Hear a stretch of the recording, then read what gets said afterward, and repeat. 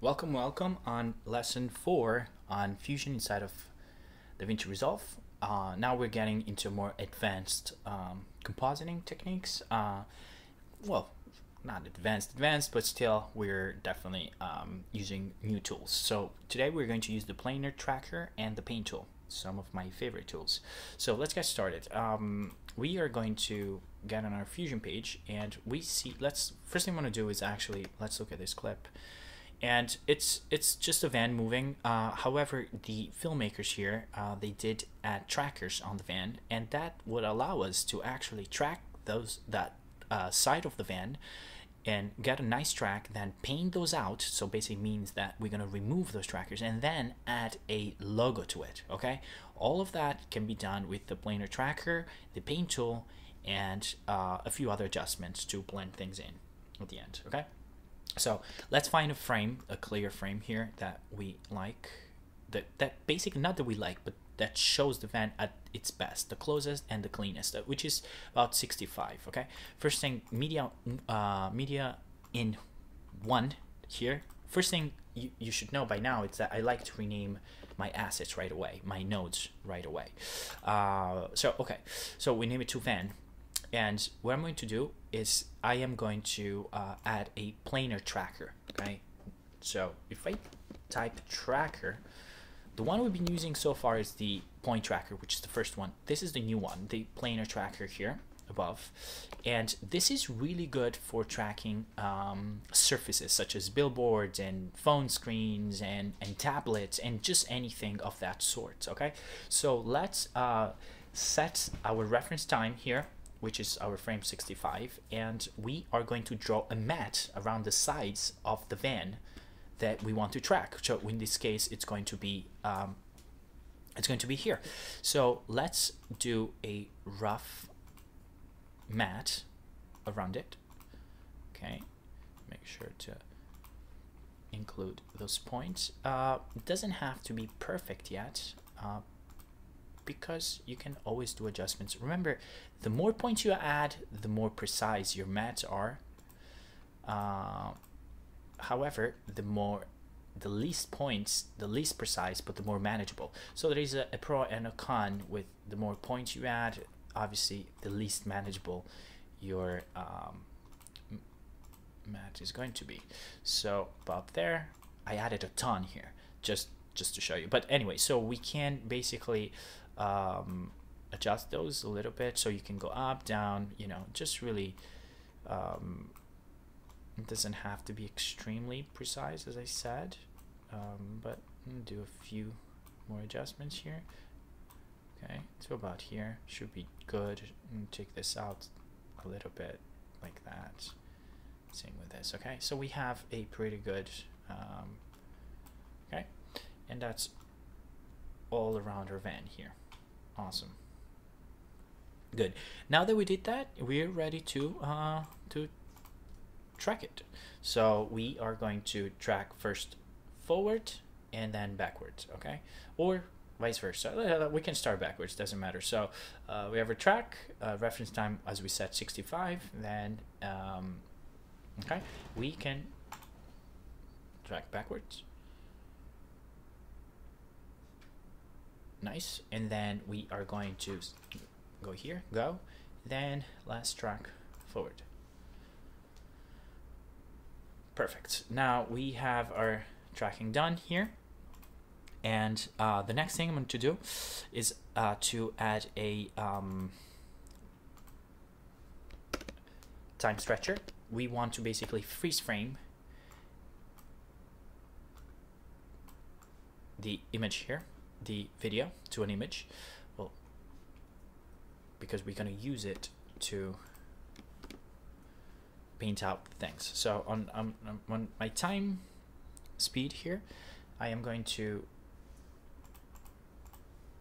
set oh I selected a time speed see?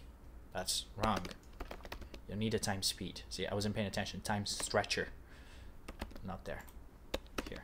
Time. See things like that happen all the time. Even to people that have been doing this. Uh, so time stretcher here, take the output of the van into our time stretcher and let's load it. and we are on frame let's load it to frame 65 uncheck that. Okay. And then our source time is going to be 65 around there. So that's our source. So now look if I play the clip here if I play the clip look what happens. We have a freeze frame. And remember be that's because we've loaded our time stretcher here. Okay nice. So uh, let me leave it in frame 65 here. Uh, okay so now we can start painting on it. So I'm going to get the paint tool here and really get um, to our uh, stroke uh, and we want to clone that. So I am going to select a point here like that one and then uh, start painting things out slowly okay like that painting things out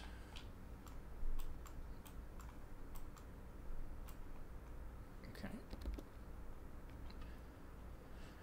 It's about there. Let's keep painting this out as well. That's uh, actually select this point here. And there we go. We do a, a clean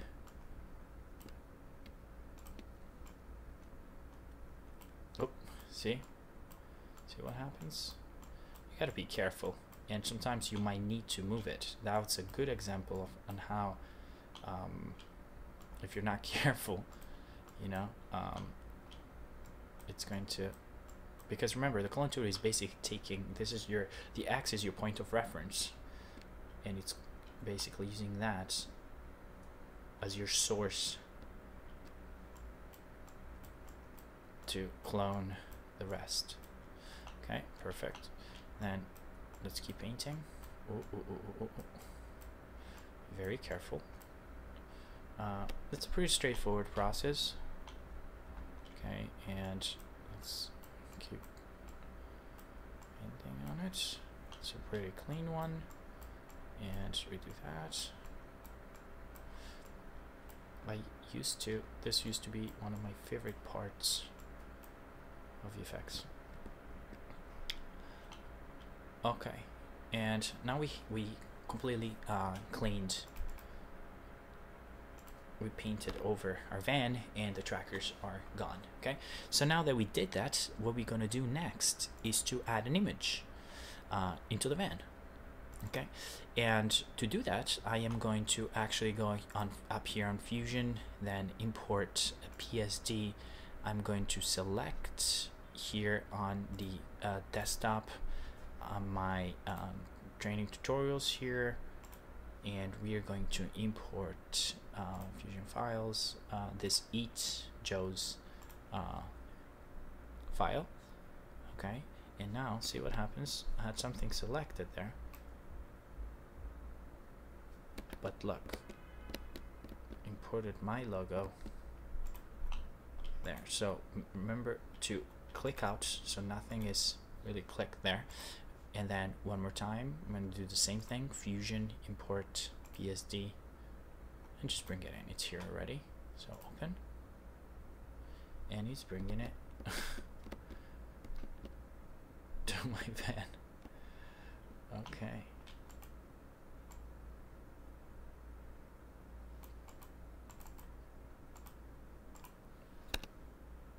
Let's load the media too.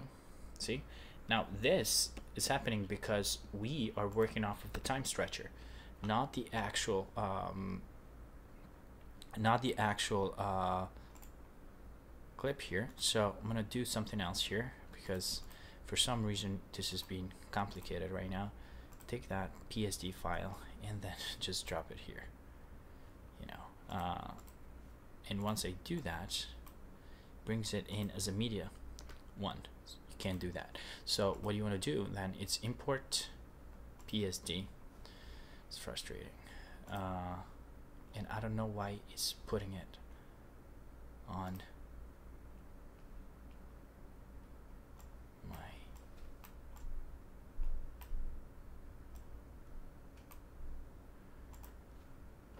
delete that delete the normal here I have my logo here okay so this is the logo I want okay? Finally okay sorry about that. Um, it's the logo I want. Let's add a let's add a merge node here after the paint. Let's load the merge and let's bring the logo in. And now the Joe's Joe's Eat at Joe's uh, logo is on top of, of our van here okay?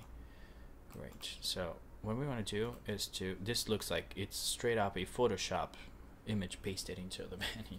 So let's fix that. Um, first thing I'm gonna do is to uh, our merge here. I'm gonna change the apply mode to soft light. And now it's better but it looks kind of like let me zoom in kind of transparent here. Um, and I don't like that. So uh, in order to fix that we are going to add a um, brightness and contrast node then take my gamma all the way not the gamma sorry you can take the lift all the way down here and you can see that now it is much much better. However we have this weird edges here and we want to fix that just by going here on pre-divide post multiply and fusion is amazing does everything for you. And now the edges much cleaner okay? So now the image is blending perfectly with our van here. Um, okay so now once we did that we need to kind of adjust this um, the logo. I do that with the corner positioner. And let's change our parameters here. So um, basically we are going to um, do this by we're gonna here gonna um zero. And this is gonna be one. Then this is going to be one. And then we are going to change this to zero here. And then if I change this to zero as well now it centers it for us. Uh, I want it a little bit kind of like a more centered a, a, a little bit more. So I'm gonna change this to 0.25 here. And I'm gonna do the same with the bottom left as well. So only the left side 0.25 we have something like that. Uh, let's also bring this up by probably I would say to uh, 0.1 and then uh, the top here to let's do 0.9 okay? So now we have an image that is much better centered and it feels it, it, it respects the perspective okay? The image. So now it, it looks uh, much more realistic blended in okay? Perfect now that we did that we need to uh, do a few more things. Uh, first off I want to uh, as I said before this is only the image is pasted in on into this image. This is all based on the time stretcher here the uh, freeze frame that we added and we painted out etc if I go steal my media out look we still have only that that image uh, that uh, video, right, uh, with the trackers. So in order to do that, first thing I'm going to do is grab the polygon tool, and I am going to draw around that same side of the door. And now I am going to be kind of detailed with this. Okay, I roughly, roughly the same way I did before. Okay, about here.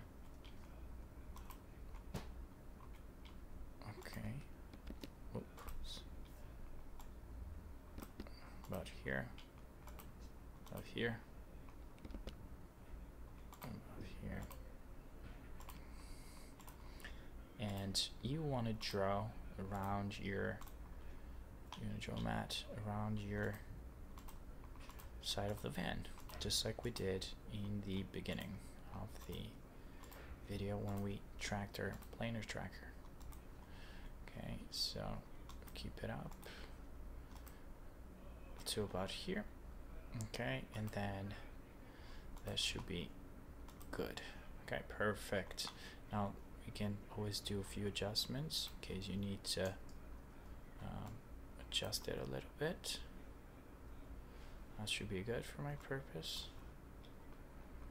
Uh, it's about here. About here should be good. Yeah, that should work. Okay, added quite a few points to it.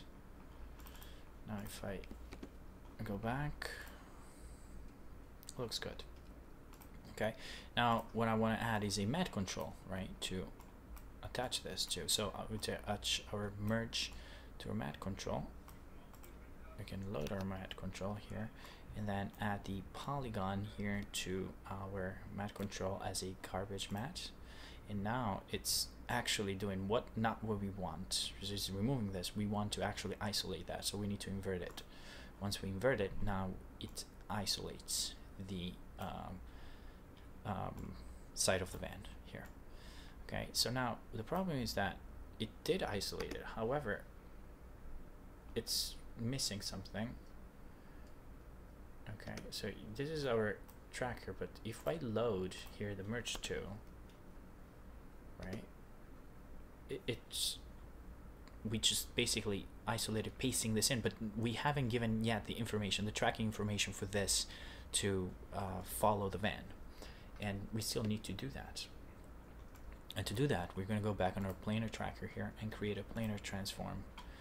And with the planar transform now, now we can take our matte controls output, attach it to our planar transform, and once we view it on the planar transform, now look what happens. This has the information from the tracking we did. Now the door moves alongside with it. Okay. Now that we did that, we just need to connect it to our um, to our merge and then just finally view our media out. To do that, I am going to delete the planar tracker. It served its purpose, and then add a merge. Let's add a merge here. Take our planar tracker. Take the output, insert into the foreground, and let's view our merge to. Actually, let's view our media out. Now, Okay, and let's play the clip. And now you can see that we successfully added a logo on the side of our van, re removed the trackers, and added a logo to it. Now, we need to do some fixing, a few last adjustments. If I go around frame 90 here, I can see I have a problem. You can see this kind of harsh edges here. We need to kind of fix that a little bit. In order to do that, I am going to go back actually on my polygon here. Uh, first off, I'm going to soften the edge a little bit to about maybe 50. And that does do it a little bit. However, I want to kind of like still adjust a little bit better. So if I go on my polygon and select my um, make double poly here, and then right click controls, select polygon auto polygon. Let me drag out the auto polygon here. So this way I can basically get that, get rid of that almost See? Now we really got rid of it. It's not there anymore. Okay. And if I load this into the screen, we can see that we blended in, we blended it, yeah, much, much better. Now it's much more convincing, much more realistic. We need to do one last thing. So looking at the image, I noticed that the image is a little jittery it's not following the motion you know when you when you record something you still have some motion blur so we need to add it to the text which um, it's not basically doing that as well as the image itself so it's too it's it's a little jittery so to do that I am going to go my uh, planar tracker here settings add some motion blur look what happens and now we can see uh, that does blends it better. I'd it's a little bit too excessive though, so I'm gonna change my shutter angle to 130. So we bring back a little bit of that and then change my quality to 5 okay and now save we can basically view this. Let's let it load.